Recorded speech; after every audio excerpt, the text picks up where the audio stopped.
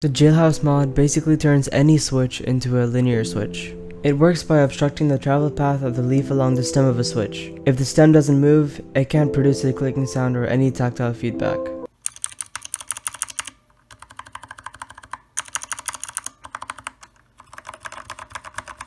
Something to keep in mind before you start modding is that this is gonna take time. It took me almost 4 hours, or around 2 minutes per switch. What you're gonna need is a switch puller, a switch opener, some soldering coil, and some wire cutters or scissors. And of course, time and patience. First you're gonna remove the keycap and use your switch puller to remove the switch. I didn't have one so I just used a screwdriver. I don't recommend you do this since it might break the switch. Next, you're gonna put your switch into the switch opener and press down hard until it pops open. This was a $15 switch opener I got from Amazon and I'll put a link down in the description.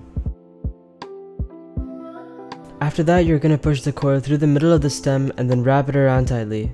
Make sure that no part of the coil is jutting out of the sides, since then the switch will get stuck in the housing.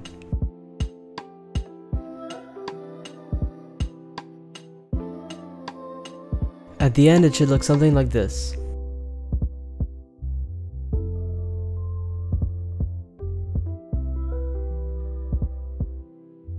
Now you're going to reassemble the switch and put it back into the keyboard.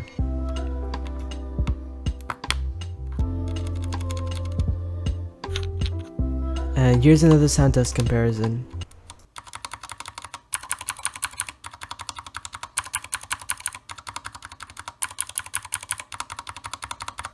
And now you're going to repeat all those steps for each key on the keyboard.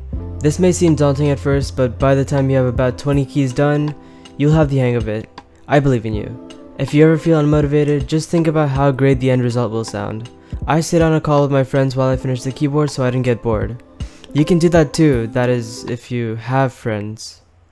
I forgot to record a sound test before I did the modding, but thankfully I did a sound test for this keyboard when I got it around 5 months ago, so that's what I'll be using as a comparison.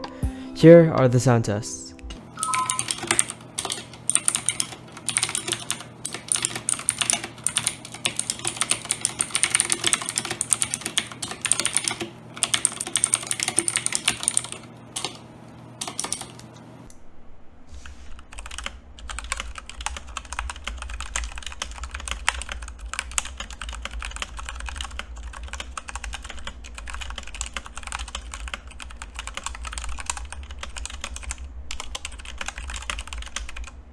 I have a small feeling r slash mechanical keyboards is gonna kill me for making this video since I know very little about keyboards, so I would really appreciate if you subscribed.